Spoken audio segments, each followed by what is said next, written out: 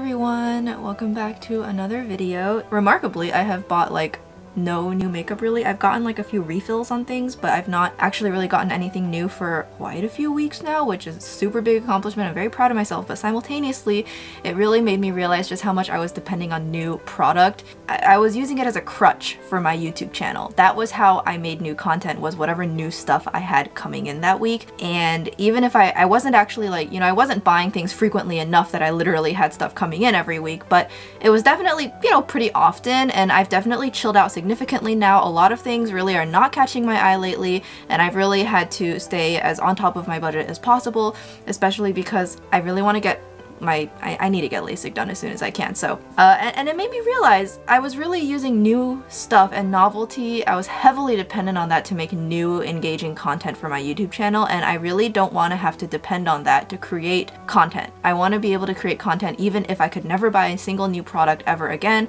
I would want to be able to still make refreshing, original, and fun makeup videos to the best of my ability. So today I thought I would create an eyeshadow look and a, a whole makeup look without using eyeshadow palettes. I know, crazy. But I have definitely said before, I do have eyeshadow singles, and I always am talking about how much I love singles this and singles that, and yet I definitely don't use them as often as I use palettes. So I thought today that, and for several, as many videos as I can do, I want to go back and explore my singles collection and show it off more for the camera and so today I'm just going to be using singles to make an eyeshadow look. So to start off with, I'm going to use the Bite Beauty Hydrating Primer. I actually like this a lot more than I thought I would. I literally only bought it because I was not it was $9 and I was like, meh, why not? But upon using it, it's actually really good. Um, it is a shame that their brand is to go away. I did not buy a backup of this. I already have a backup of my Dominique one. This one is a lot more creamy feeling and texture compared to that. It still has that watery kind of feel to it, but it's not, it doesn't turn to like liquid water like the Dominique one does. So it's a little bit more heavy duty. Honestly, I kind of wish I had discovered this sooner because if I had, I wouldn't have stressed so bad about my Dominique one because this is actually surprisingly good. Like, and I, I seriously considered getting a backup of it, especially if it's only $9, why not?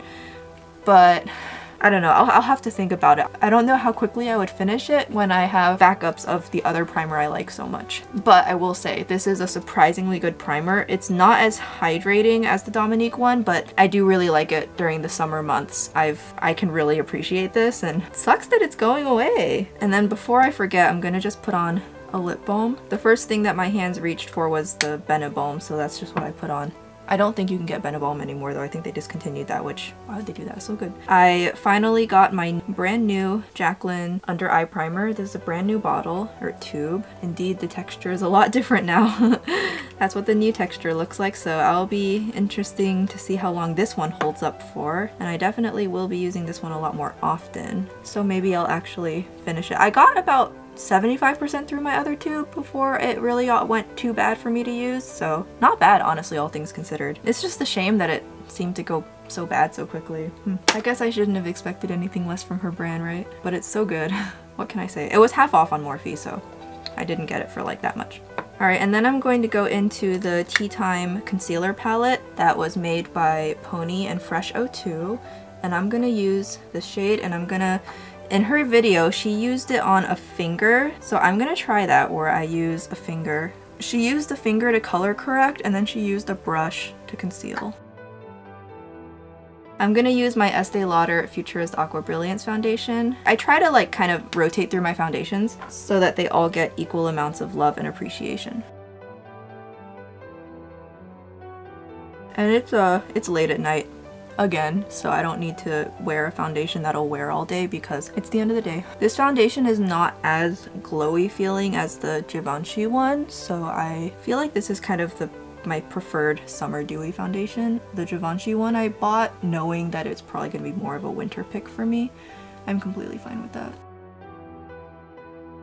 And then just a little bit on my forehead. My bangs are up in a curler today, but honestly they're super oily, so I fully expect them to just look so greasy when I finally take my hair down. I forget during the summer how quickly my bangs can go oily, because in the winter I'm so used to washing my hair like once a week. So I'll be sitting around and I'll be like, why is my hair so oily? It's only been three days. Well, it's summer, you idiot.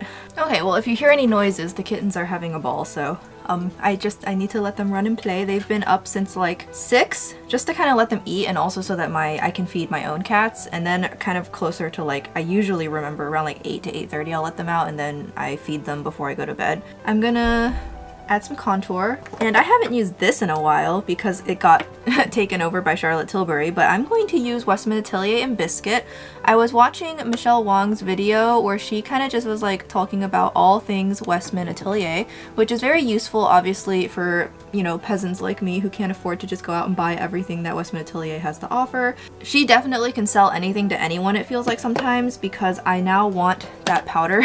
she definitely made it sound very nice. Because I was thinking about her video, I thought to myself that it's been a little while, a long while since I've used Biscuit on camera because I've just been using the contour wand repeatedly over and over again. So I will use Biscuit today because it's very nice. As you can see, it's a lot lighter in color than the contour wand blends out pretty much just as easily even though it's in a stick form so it's also very difficult to overdo. It, I feel like the contour wand you can definitely overdo it just because it is a liquid, it is dark. It blends out easily so it's very forgiving but at the same time there's definitely an overdo point whereas this particular shade Biscuit it's lighter so it can only get so dark. And as you can see, by stippling it gently, I can blend it out really easily and it's not compromising like my foundation or anything. I just thought I would bring it out and use it again. It's, it's been a while. It's more, it feels more on the dry side like amber, so I feel like it's one of those shades where it's gonna like be years before it dries out so it's, you know, it's, it's a hefty amount of product, but it is, it does last a while. I mean, I've had mine for over a year now. It still feels just as good as when I got it. But I just thought, let's use something else for a change. All right, and then I'm going to use some loose powder just to set my under eyes. I don't know if I'm gonna use a creamer powder or whatever blush yet, so I'm gonna use some of the Jaclyn Under Eye Lilac powder to set my under eyes really quickly. It is very brightening, so I do, I do quite enjoy it. Just needs to be used kind of carefully. I don't really use this in the winter. I just just realized I didn't put on any concealer. And I'm powdering, and I didn't put on concealer. Well, you know what? It's too late now. I'm just gonna- I'm gonna have dark circles for this makeup look, you guys. So I am going to take some powder foundation and attempt to cover what I can so that it doesn't look quite as dark. I am not thinking today. I don't think I'm thinking most days. Alright, I covered these as best I could, and we're just gonna have to move on with, with that. That was a mistake, but we're just gonna have to move on. At least I color corrected. So let me just get my nose really quick so that my nose is nice and matte because I don't want my forehead to be shiny at all. And a little bit on my chin. And we'll pretend that I have covered under eyes. We'll just we'll just pretend. Yeah, I do really like this powder. However, it can be mildly drying if used in excess, especially during the winter. So this is pretty much my summer powder. Okay, so off to a chaotic start, but we'll get there. So I'm going to do my eyebrows now using the NYX Micro Brow Pencil. I did in my in one of my recent videos talk about the Shiseido Brow Pencil and the only reason I'm not using that is because I'm just trying to finish this one up. I just have so much left and it makes me sad. but my brows don't look awful today, so that's good. Alright, and then I'm going to use my brow blade. And my brow flicks did arrive in the mail yesterday. I just haven't had time to move them to my makeup desk yet, so I'm very excited to start using them. I think starting in the next video, you'll see me start to use that, and I'll be using that for a very long time because I did buy two. Yeah, and this one is starting to go very brown, so it's definitely kind of on its way out. I'm probably going to put it aside and just go ahead and throw it out, and we'll call that done. So I didn't use eye primer because I'm going to be starting off with the Auric shade in Defiant. No, Disrupt. It's this red shade here. As you can tell, Mine has been not used yet. And the reason for that would be because I planned on using it and then I forgot to. Nothing to it. so this is going to be the base shade and then everything else is going to go on top of this. So I'm going to just be using a Sigma brush. I do prefer to use synthetics on my cream shadows because I animal hair brushes are high maintenance, so I do tend to reserve those for powder if I can. Something like the Sonia G Lotus collection is definitely something I want to have, but no money yet. And this is going to be more or less the base shadow shade. I do really want her other duos, I just can't justify buying them. I couldn't justify buying them considering how infrequently I use my singles, but maybe someday when I, you know, have a better, I need, I, I would really love to be able to film more often so I can, you know, use my makeup more often, enjoy my makeup more often, and rotate through the things I have, and then I can really justify buying more. I don't necessarily want to become a makeup reviewer. I feel like it's not really sustainable for me to do that. I would burn out and get sick and tired of reviewing new product eventually. I just get overwhelmed so easily. But I definitely want to be able to use what I have more often and enjoy the newness more often. But before I can do that, I really need to be honest with myself about the workload I can handle, about the content I can create. And I'm just gonna apply, I'm not using eyeshadow primer. I generally don't use primer if I'm laying down a cream shadow. Oh somebody definitely made a poop. I'm probably gonna get it up. I'm probably gonna go clean it up sometime midway through filming because I can smell it from here. This shade is I'm not thinking I really like this shade as much as I like her other holiday shade, which I have used in a prior video. This feels to me like it has a very dark base and I can't really get the red to show through as well. It may be because the brush I'm using is a little bit on the fluffier side, but at the same time, I had had the impression that this shade is very, very, very like burgundy wine, and it's coming off as very dark and blackened. I may just be, I may be the one who did not do my research, it's still very pretty, it's just not what I had had in mind. And I feel like this shade is a little bit patchy today. It could of course just be my eyelid, but this shade doesn't feel like it's laying on as evenly and as easily as the green one did. Yeah, I feel like it's not layering as elegantly. I mean, it's still, obviously, it, it still works fine. It's still good. It's not performing to the same exceptional levels as the green one did. Which I know she said this was a very troublesome shade to make because it is, if I remember correctly, it's vegan and it so not using carmine kind of limits your options, but it's just kind of, it's not giving me the vibes, I guess, that I thought it was. I'm gonna switch to a denser, flatter brush and I'm gonna use it to see if I can pack on more pigment, make it much dark try and see if I can get that red to pull through a little bit more without obviously getting cakey because we don't want that. Okay, yeah, it's starting to show through a little bit more, but this is definitely a lot darker than I anticipated it being and it's a lot more mute than I anticipated it being. And that could be that probably is more on me, just kind of misreading the marketing and just kind of having a different expectation from what the product actually promises. Okay, so a, denser brush is definitely the way to go. Alright, I'm gonna start working that onto the lower lash line. It is really pretty though. I mean, it is really pretty still. It's just not what I was expecting. It's a lot darker and more dark base than I was expecting, that's all. Okay, yeah, honestly, not bad at all. Uh, it got there eventually. I do feel like I had to work a little bit harder. It's a little bit on the patchy side, but you know, the first impression of how something performs is almost never indicative of how it actually performs. It could be that my eyelids are dry today. Maybe I needed to use a little bit more primer than I did. So I will not be placing any judgment or anything like that. That's silly. I'm just gonna make sure that these two eyes are symmetrical. Miso's pulling eyeshadow palettes out of my shelf. He's using his paw and he's he's pulling palettes out of my shelf. Is there something back there, dude? What did you find back there? I know me, so It's hard. Life is hard being a cat. Been so hard. I did look up there to see if maybe there was a bug or if there was like, I don't know, cat poop back there or something. I did look because sometimes when he does that, it's because he sees something. I didn't see or smell anything, so I think he's just making mischief because he can. So I'm going to go into, I'm gonna go into Wedge. It's kind of my de facto blended out shade I use for a lot of just randomness. So I'm just gonna use Wedge to softly smoke things out and make sure everything is blended. It is definitely kind of one of my favorite matte singles. It just works really well.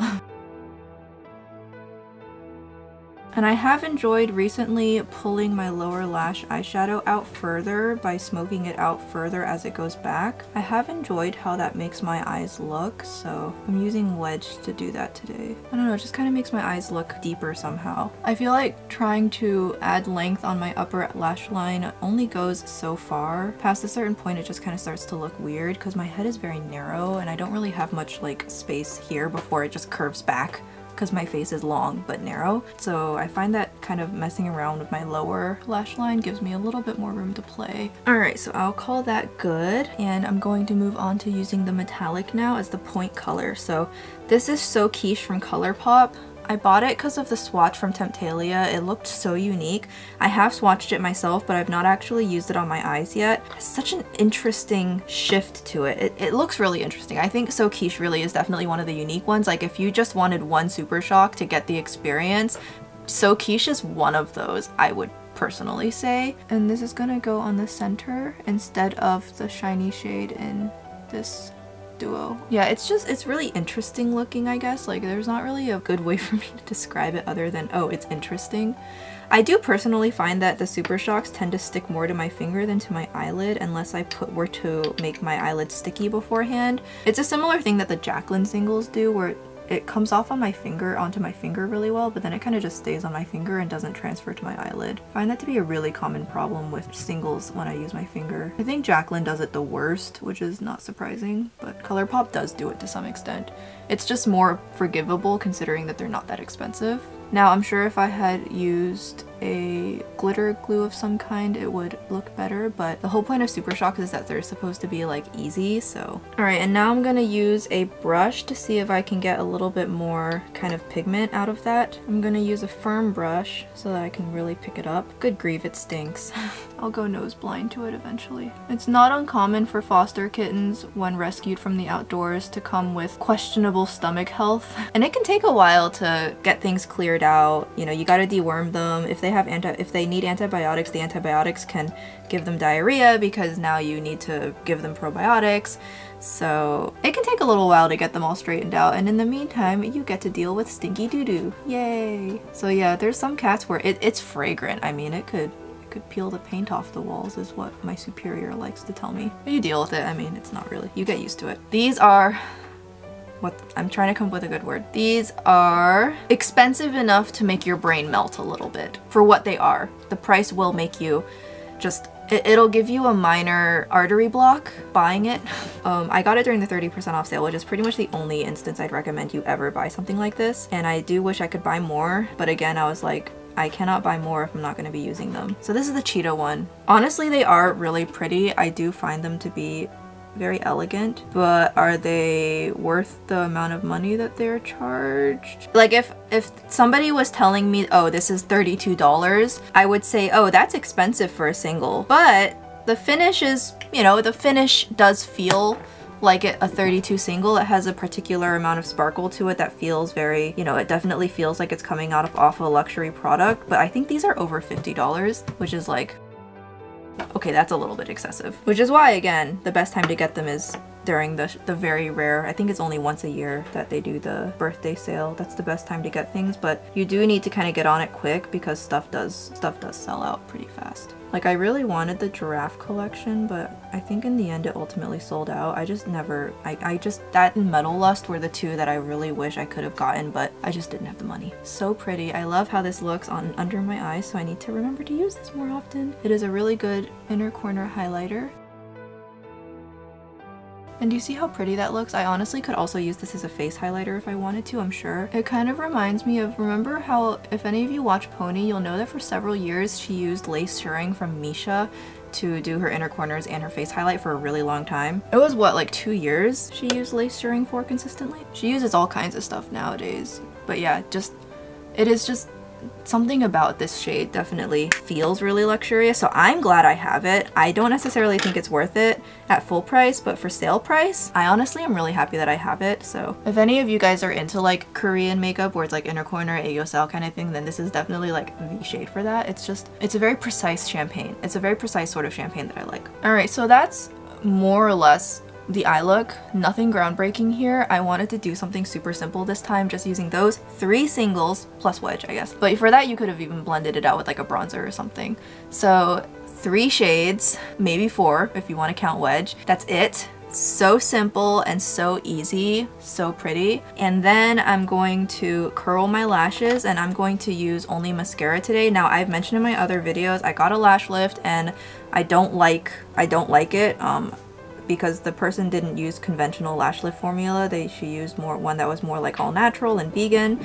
It also at the same time because of that really cannot it was no match for my super stubborn lashes we both found out so sadly it was a no-go for me but I still do want to do a mascara only look today just because I'm I'm lazy. And it's nice for you guys to see my makeup looks with my natural lashes every now and again. I do have a waterproof mascara coming in. It's just that YesStyle can sometimes take a little while to ship it and it was one of those 21 day items. But in the meantime, we just have to make do with what we got, which is fine. And curl the bottom ones too. Never forget the bottoms which I learned how to do it just by watching Pony a bunch of times. Um, the way she does it is pretty much just how you do it. I'm going to be using a new mascara. I'm like I'm not really into the Rare Beauty one. It looks good on my lower lashes, but it ended up just not looking great on my upper lashes. And I bought this at Sephora because it's on sale. It's the Bite Beauty Upswing Mascara.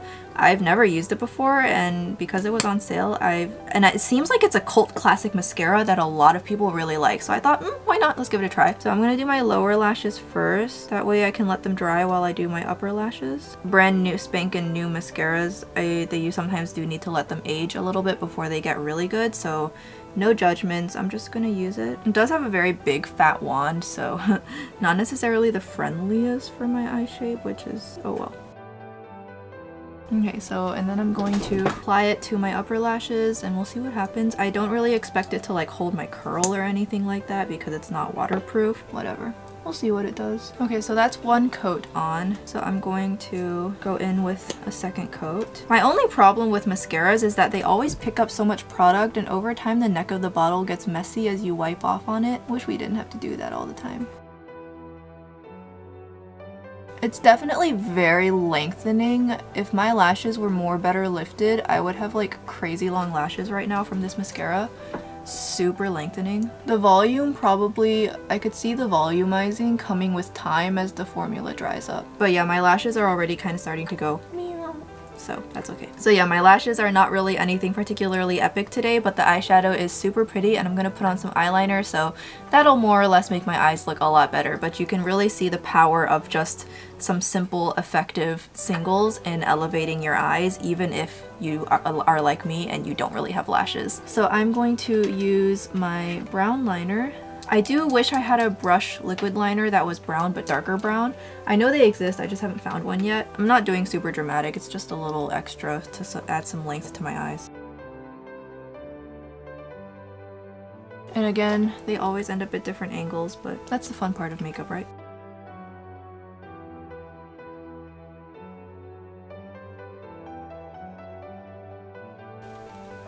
Just makes my lower lashes look a little bit more full. It was a little dark today because the ink was coming out a little aggressive today, which happens sometimes. I prefer to use the Benefit liner for this actually because the Benefit one is even lighter. That one is like such a nice light shade of brown but I'm lazy today, so we're just gonna use the same liner. We could use a little bit of extra darkness in the outer corner. So I'm going to, I'm going to go back into the Disrupt shade and I'm just going to add kind of, I'm using a tiny, tiny brush. I just wanna add some like kind of more obvious darkening, like a double wing. I'm definitely getting a lot of like inspiration from Douyin makeup looks of how they love to just play with their lower lash line way more than Western makeup. They really just take full advantage of their lower lash line in ways that I'd never really thought about, so I've been having a lot of fun experimenting with the potential. Honestly, I'm having a ton of fun with it. Yeah, so that just, it's, it's subtle, but it just kind of adds a little bit of depth to the outer corners of my eyelid. Especially because, you know, my lashes are not able to really help with emphasizing the look at all, so I'm really having to rely almost entirely on the eyeshadow and the eyeliner to kind of open my eyes and make my eyes look elongated and extended. I don't have lashes that can do that for me. So I did end up selling my M Cosmetics Lychee blush stick. I just was not using and appreciating it enough to have it in my collection. I, I just wasn't. I really wanted somebody else to use it that would love it more than I did. So I don't have that anymore. I only have Terra. I still really like it and I would still definitely endorse it to anybody who wants it, but I just never ended up using it. So, but I am going to use a stick blush today because I have it. I might as well as use it and I'm really trying to, you know, enjoy what I have and stick blushes can and do eventually go bad. So I'm going to be using the Jaclyn stick in Overruled. This is the only blush stick formula where I still retain the shades that I bought and I do actually have all four shades but I figured that I would hold on to these just because I wanted to still have like one blush stick formula that I really like, just but I don't really buy any more of them. I've come to really personally like the liquid matte blushes. That's kind of what my current I'm currently favoring. So like the NYX soft matte one and the 3CE one is what I like. But yeah, I just ultimately never ended up going for stick blushes. I really thought I would. Um, as it turns out, if the blush is not super vibrant, I'm not gonna like it because as you blend out a blush color, it becomes less vibrant and more and more sheared out. So I had bought all these neutral shades thinking that I would like them, but then when I used them, I never really could see any impact, so I just never ever used them. So I have since sold all of them. And now if I do ever get a blush stick again, it's going to be something like Mario's Raspberry, which I do actually want, but it's just been sold out for a while. You know, I'm really glad that I'm learning these things about myself. It really helps save me money. For a long time, I had to really grapple with accepting that because I almost felt like I wanted to be that girl who uses that blush. Finally, I have you have to eventually come to a point where you just have to acknowledge that what your fantasy self likes is just a fantasy and you need to just embrace what you personally would actually use in real life. I really struggled with accepting that my blush preferences were just not on trend, um, but you know what, trends come and go. But yeah, this is a really pretty shade though. You can definitely see, very pretty.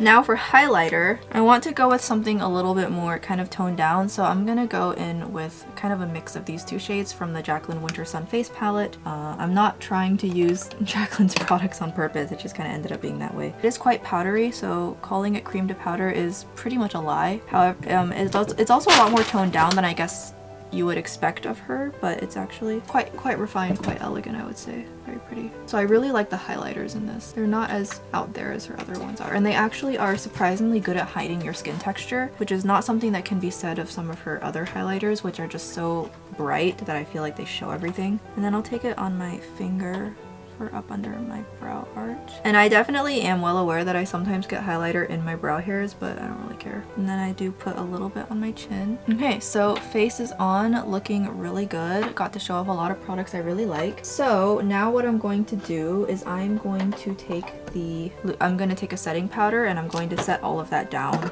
so I'm using Powder Moves. I've been testing it out very intensely. That's why I'm using it so much. I haven't used setting powder yet, so this is going to be my setting powder. And this one does have a mild amount of glow to it, so kind of liven up my face. So far, I really like it. So now that's all that's left is the lips. Now, my Benetint does darken my lips considerably and it is actually really pretty and I do like how it looks so I don't really think I need to go too ham with the lip product today, so I'm just gonna line my lips with the Incognito shade, which I need to sharpen. I'll sharpen it when I wash my brushes.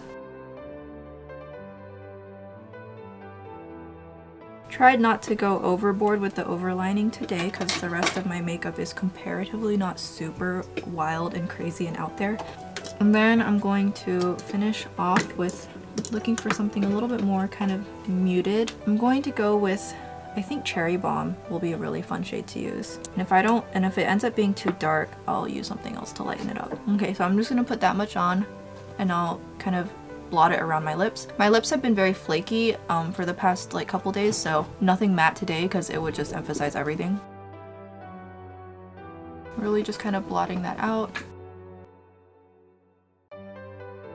Trying not to go too overboard with the application, but I do want to make sure I get the corners of my lips or else my lips look really short. And then I'm going to go in with my Dior Lip Glow Oil in Cherry, which are these re-released? Did they come back in stock or did they get like renewed? I'm so confused. I don't know what the status on these is. All I know is that I'm glad I got what I got. they sold out quickly. I guess they went viral or something and then I guess I saw them on the Dior website a couple weeks ago under like a different name. I don't know what happened to them. But I'm gonna use this just to kind of blend out the top and add some shine. Okay, yep, my bangs are definitely in Greasyville and I need to wash them. Oh my gosh, they are so gross. But yeah, I hope you guys enjoyed this very simple little tutorial slash I use things and put them on my face. Yeah, I like, honestly, I really like how it turned out. It is very simple but actually quite effective and even without the lashes you can see the eye makeup still does a lot to transform how my face looks and how my eyes look, which goes to show how great the eyeshadows are. Hopefully I can get my act together and be a little bit more on top of things and have better videos, a little bit more planning. I'm really working on it, but in the meantime, please, as always, leave any requests in the comments. I hope you guys enjoyed this video and I hope you guys found this look to be a lot of fun, maybe a little bit inspiring. Use what you have to try and create something similar. And other than that, I'm gonna sign off and I'll see you guys in the next video. Bye-bye!